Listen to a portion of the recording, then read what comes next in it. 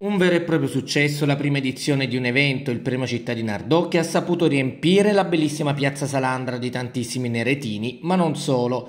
Tra i premi consegnati, quello all'imprenditore Luciano Barbetta, alla squadra del Nardò Basket femminile e all'avvocato Salvatore Donadei. Un premio importante del quale ringrazio ovviamente l'amministrazione con il sindaco Pippi Meloni in testa, il consigliere delegato Lele Manieri ed è un premio che sicuramente mi inorgoglisce e che dedico all'intera avvocatura eh, neritina e salentina in generale.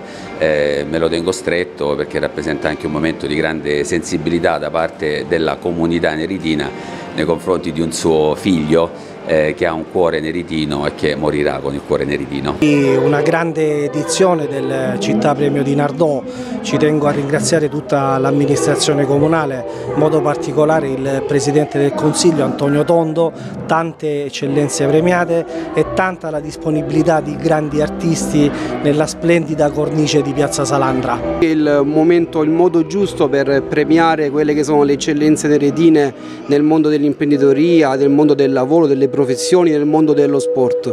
Un grazie al consigliere Manieri per aver fortemente voluto questo, questo momento, un grazie al sindaco che ha subito sposato l'iniziativa e sicuramente una prima delle tante edizioni che si andrà poi a fare nei prossimi anni.